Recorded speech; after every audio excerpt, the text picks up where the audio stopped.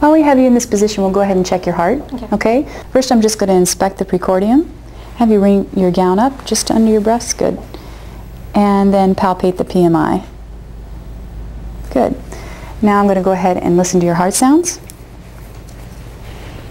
First, locating the angle of Louis. And then listening to the aortic, pulmonic, second pulmonic. Go ahead and lift your gown there. Tricuspid and mitral. And then we'll listen to the heart sounds using the bell. Okay.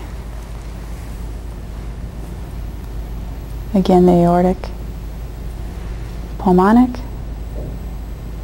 second pulmonic,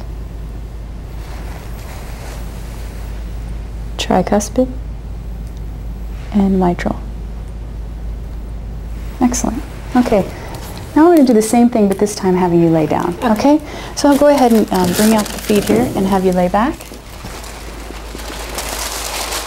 Okay, are you comfortable there? Okay. Now in supine, I'll go ahead and um, check the precordium. Have you lift your gown just to there, good. And palpate the PMI and along the costosternal border and the base. Feel no lifts, heaves, or thrills. And now we'll auscultate the heart sounds, in this position, using the diaphragm first and then the bell.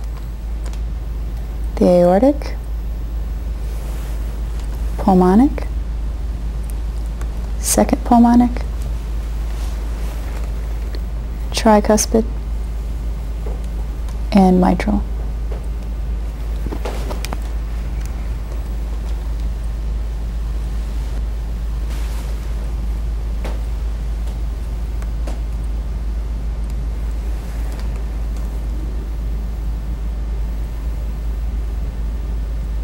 Very good. Everything sounds normal and healthy.